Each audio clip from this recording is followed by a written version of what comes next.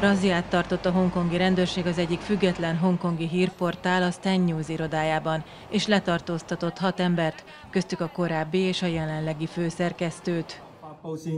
Az egyik újságíró élőben közvetítette, ahogy a kínai nemzetbiztonságiak bekopognak, felmutatnak egy dokumentumot és felszólítják, hogy állítsa le a felvételt. A főszerkesztőt bilincsben vitték el.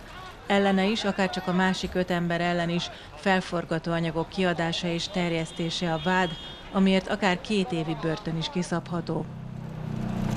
Az akcióban több mint 200 rendőr vett részt, akik átkutatták a szerkesztőséget, és dokumentumokat, valamint számítógépeket foglaltak le. A Stand News a hongkongi ellenzék egyik utolsó, nyíltan demokrácia párti sajtóorgánuma.